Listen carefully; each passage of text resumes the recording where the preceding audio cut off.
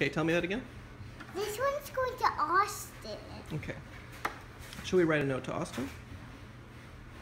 Write a note.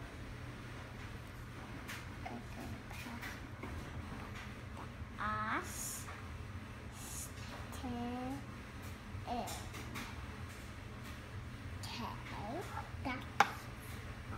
t i n.